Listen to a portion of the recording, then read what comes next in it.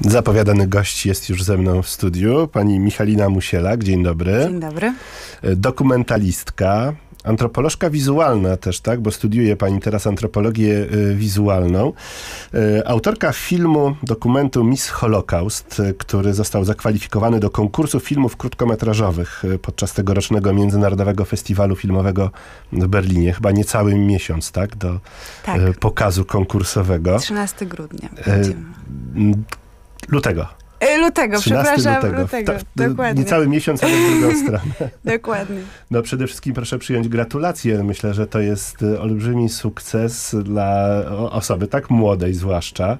Więc bardzo dobry start do kariery też chyba. Jakieś, o, jakie oczekiwania pani wiąże z y, tym konkursem? Znaczy, Poza ym, tym, że życzymy wygranej po prostu. Przede wszystkim bardzo dziękuję w imieniu całej ekipy, bo też film jest tworzony bardzo wiele osób. Tym razem były to same dziewczyny, więc też jakoś to jest dla mnie szczególnie wyjątkowe. A jest to mój debiut tak naprawdę, więc tym bardziej się cieszę, że będzie miał swoją premierę y, na Berlinale. Y, Bohaterkami filmu też są y, same kobiety. Mhm. Może właśnie wyjaśnijmy krótko, o czym mówi ten film. No, jest to dosyć takie nie, niezwykłe zdarzenie, to, które pani opisuje, chociaż y, z tego, co pani mówiła przed wejściem na antenę, no, już stało się y, cykliczne. Tak, nie, nie pierwszy raz, ale w Haifie, w takim miasteczku w Izraelu, e, które w ogóle znajduje się na wzgórzach i, i ma taką swoją bardzo istotną rolę w historii Izraela, ponieważ jest też miastem portowym i tam większość emigrantów przyjeżdżało tuż po wojnie statkami właśnie tam jakby e, docierało do, jak, na, na ziemię Izraela. Dzieje się konkurs piękności dla ocalałych z Holokaustu. I tam też o, tych ocalałych właśnie też ze względu na specyfikę geograficzną jest całkiem sporo. I są to panie y, w mocno starszym wieku, no, osoby, które przeżyły Holokaust. I Jak pani wpadła na ten temat? Jak on się zjawił y, w pani życiu? Znaczy pewnie on jakoś tak mm, kiełkował od bardzo małego, bo ja też skończyłam, a propos edukacji, skończyłam żydowską szkołę w Warszawie, jest taka szkoła Lauder i ja skończyłam podstawówkę i gimnazjum, więc dla mnie jakiś gdzieś tam ten temat em, Holokaustu i tych doświadczeń wojennych był ważnym tematem i też w ogóle wydaje mi się, że jako Polka to jest nasza wspólna historia, więc gdzieś jak jechałam do Izraela, pojechałam tam na stypendium z Muzeum Historii Żydów Polskich, to te, ta wspólna działka, czyli właśnie te, te, te doświadczenia wojenne, e, to, to było to, o czym chciałam rozmawiać, ale się okazało, że Izraelczycy nie do końca są zainteresowani tym tematem, bo starają się jakby iść do przodu, mają własne teraz współcześnie e, problemy i konflikty. Więc tak naprawdę bezpośrednio po prostu gdzieś tam moja uwaga się zwróciła do, do tych osób, które pamiętają, które przyjechały z Europy Wschodniej, które często mówią po polsku, piękną polszczyzną, które mają zachowane to wschodnie e, ły na przykład, bo nic jakby ususzyli swój język w takiej formie, z, jak, z jaką jakby wyjechali Mhm. z Polski. Więc, więc tam odnalazłam tak naprawdę to, ten temat, który chciałam podzielić Dotarła pani do tych osób, które y, przeżyły Holokaust, ale no taki, y, ta, taka dziwna formuła odnoszenia się do tej pamięci, jaką jest konkurs piękności. Czy pani miała poczucie, bo ja oglądając ten film miałem takie trochę poczucie nieadekwatności jakiejś tej całej sytuacji. No, czułem się, y, że, że, że patrzę na coś jednak trochę dziwnego. Mhm. No to jest właśnie pytanie, jak pamiętamy i to jak pamiętamy w ogóle różne wydarzenia historyczne, jak zmieniamy e, to, co się wydarzyło na korzyść e, tego, co, co jest nam potrzebne, jak upolityczniamy różne sytuacje. No, są takie zjawiska, które jakby już mm, różni naukowcy się zajmują tym, jak na przykład komercjalizacja Holokaustu. To jest w ogóle termin, który już jakiś tam jest wykuty i, i omówiony w różnych e, tekstach. No natomiast to się, to, to samo dzieje się z y, powstaniem warszawskim. Jakby to generalnie po prostu pytanie takie właśnie szersze jest, w jaki sposób przetwarzamy wydarzenia z przeszłości i jakie, jak one się odbijają w, w tym świetle, w którym teraz żyjemy. No, poznała pani bohaterki swojego filmu, te panie, które zdecydowały się wziąć udział w tym konkursie. A jaki cel przyświecało organizatorom? Mhm. No na pewno Dlaczego też... w takiej Mhm. formule jakoś odwoływanie się do tej pamięci? No, stąd też mój tytuł Miss Holocaust, który jest takim mhm. tytułem y, zaczerpniętych z mediów, bo to jakby konkurs piękności dla ocalałych z Holokaustu to jest nazwa organizatorów, natomiast ten taki, powiedziałabym, przykuwający uwagę tytuł jest y, tworem medialnym, no i to też gdzieś tam był cel organizatorów, żeby tą uwagę na y, ocalałych skupić. A w Izraelu jest tak, że właściwie jedna trzecia żyje w ubóstwie, poniżej jakby tej, tej granicy ubóstwa. I, mm, Spośród tych osób ocalałych, tak? Tak, wszystkich mhm. ocalałych, którzy po prostu mhm. tam żyją.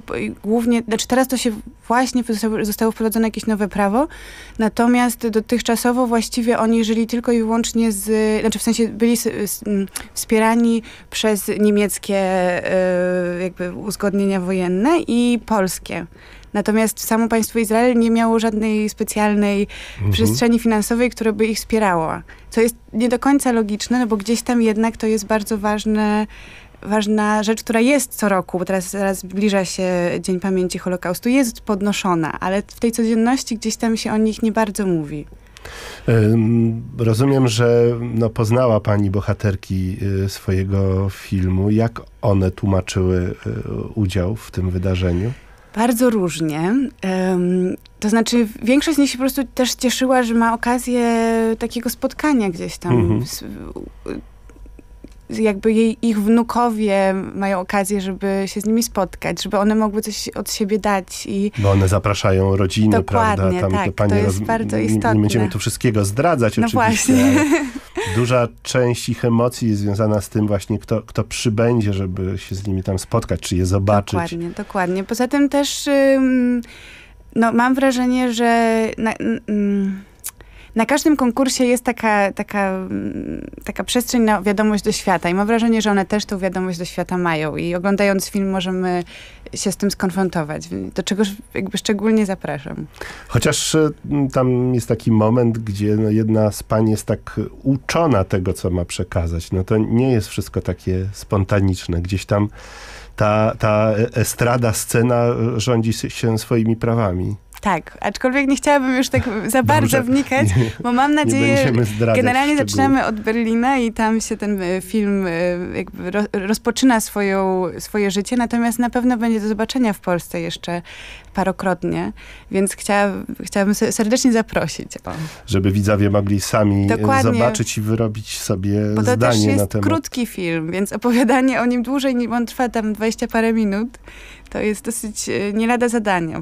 Przedstawiłem panią jako dokumentalistkę i antropolożkę wizualną. Czy to są dwie e, różne postawy wobec materii filmowej?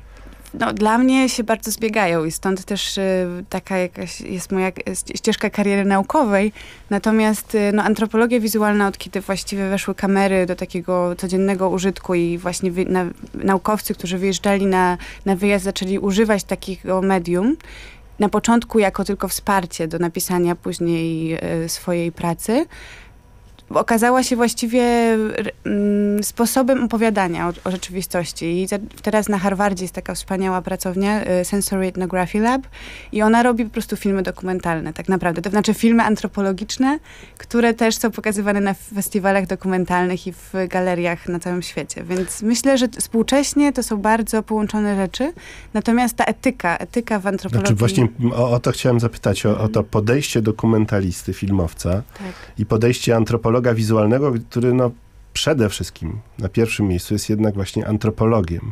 Tak, Nawet i... jeśli to narzędzie w bardzo mocny sposób określa to, w jaki sposób y, do człowieka, z którym rozmawia, podchodzi. Dokładnie tak. No w sensie na pewno on się y, o wiele bardziej zastanawia, jak do tego człowieka podchodzi, w jaki sposób, jaką metodologię obiera, w jaki sposób mm, to, czy ktoś uczestniczy w procesie tworzenia filmu, y, sprawia, jakby zastanawia się nad etyką, jak w jaki sposób to rozłożyć siły, zależności. W dokumencie jakby nie ma takiego um, takiego wzorca, tej metodologii tak zwanej, ale też y, zagęszczanie rzeczywistości jest gdzieś tam częstą, częstą met taką metodą własną uznawaną, więc na pewno ta, ta antropologiczna perspektywa poszerza i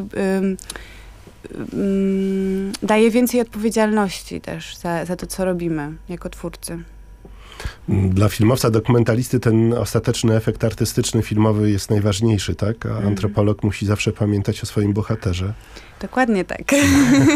No ja miałem takie poczucie właśnie oglądając ten film, że, że kręcił go ktoś e, z taką delikatnością właśnie i z takim etycznym zamysłem, tak jak pani to określa. No to, to świetnie. Bardzo się cieszę, że to jest widoczne. A jak te panie bohaterki odbierały panią? No to jest, to chyba też jest dla mnie bardzo, czy, bardzo czy całą ważne. ekipę, tak? że, Bo to kilka tak, to- osób. I to była ekipa głównie z Polski i, i dla mnie jest gdzieś tam ważne, że my jako, w Izraelu się mówi o pokoleniach i po, będziemy już trzecim Mhm. pokoleniem, tak? Które właśnie nasi dziadkowie doświadczyli wojny. Więc to drugie pokolenie bezpośrednio miało, żyło z tą wojną mniej lub bardziej w wspomnieniach, no my jesteśmy tym trzecim. Dla mnie jako Polki to jest bardzo istotne, bo to też jest taki moment, e, ja się urodziłam w 90 roku, który po transformacji tak naprawdę daje nam okazję, żeby mm, trochę przetworzyć też tą historię żydowską, która tak naprawdę w czasie PRL-u nie miała okazji zostać przerobiona. Łącznie z tym, że jeszcze jacyś ostatni Żydzi zostali wyrzucani ze względów politycznych.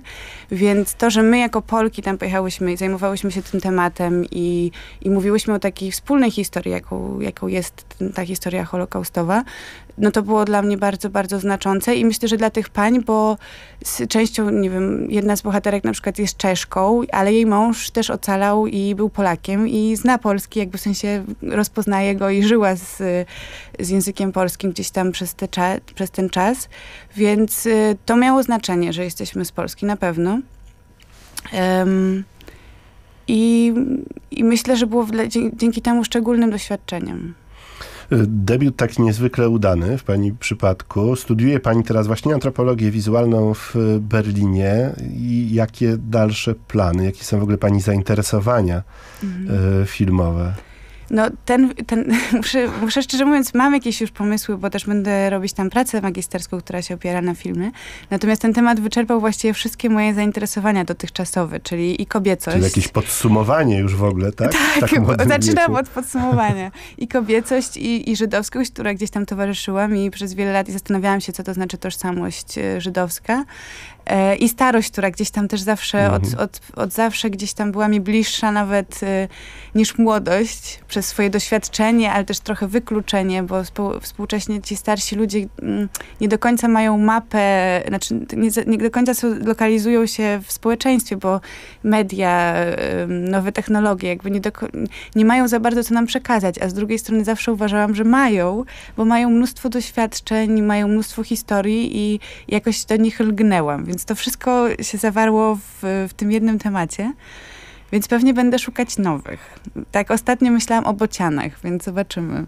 No Bociany, tak, bo one też przekraczają, migrują. No ale A propos migracji, Mhm. też bardzo, bardzo aktualny temat. Też lecą przez Izrael do Afryki, więc gdzieś tam jeszcze nadal zachowując ten, tą geograficzną em, inspirację.